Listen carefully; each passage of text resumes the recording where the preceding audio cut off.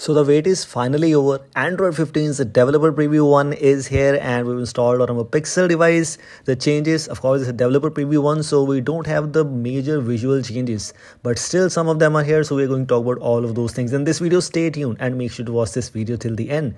The code name, as expectedly, Vanilla Ice Cream. Android 15, Android V, or you can say Vanilla Ice Cream. So you can see the Easter egg is also changed. It's looking like V and this is the major change only. If you hold this thing for few of the seconds you will get the same android 14 style ui i mean that spaceship spaceship game i guess. And you can use this thing you can play this in case you want to. Nothing else no extra other major changes whatever i found so far in this easter egg Including this, one new feature which is available here is in the notification section, notification cooldown. If you remember, this thing was already included in Android 14 QPR update, but then it was gone. But we have this. So as you can see, gradually lower the notification volume when you get many successive notifications from the same app. So you have three options available. You can apply to all notifications or you can apply to only the conversations and you can simply don't use this thing. Second one is regarding the many messages. So if you get same same chat messages. If you have if you get a lot of messages from the same chat in a short period of time it will simply gradually lower the volume for that. And you also have the option to don't use this in case you are not satisfied you are not into these things. This thing which i will not be able to show you is regarding the haptics. So you can see if you turn on brightness to the bottom you'll get a little bit of haptic feedback there. I think so. It is available by default. You don't have to enable it by any extra options if we are talking about haptics, one new thing is also added in the vibration and haptic section. You will see keyboard vibration option. It was not there. It's included here in this keyboard vibration section, sound and vibration settings, keyboard vibrations. So you'll get some vibrations or haptics while typing on a Google keyboard and I guess almost every keyboard if you have this option enabled.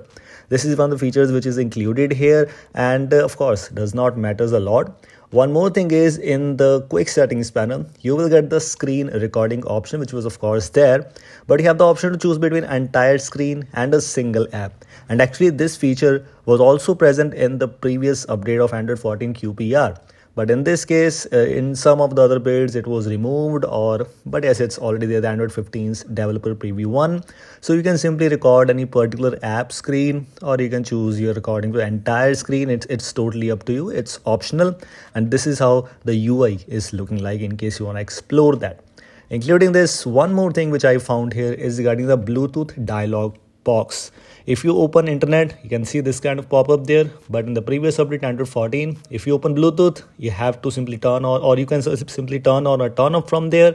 But now with the latest android 15's developer preview 1 you have this pop-up or dialog available where you can simply pair new device with one click Another thing is which I found in launcher is the padding. If you're able to notice here, some marginal differences are here.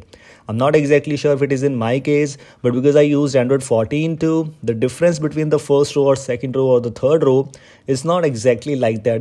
there was a less difference, less space between them in the previous Android 14, but with Android 15's developer preview one, there's a lot of space or you can say padding or margins are adjusted here, which I found so far. This was about the Pixel launcher, although we don't have the option to turn off at a glance widget yet. Another thing is the volume panel. It was also changed with Android 14's QPR update, so it was not there in the Android 14 stable yet. But in Android 15, most likely this feature will be available there. So it's not a big thing, but because volume panel is now customized or changed as compared to the normal stock one, that is why I just wanted to let you know.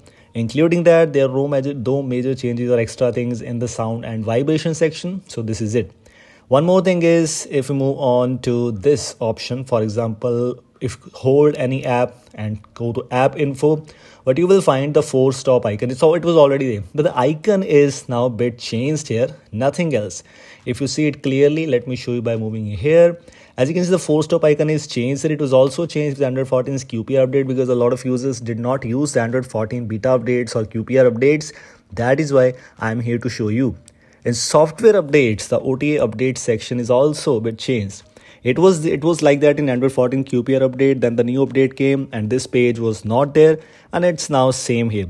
So I just hope this kind of page will stay till the stable Android 15. We have the Android 15 developer preview one already available. We will get Android Android 15's developer preview 2 next month. Then we will move into the beta options.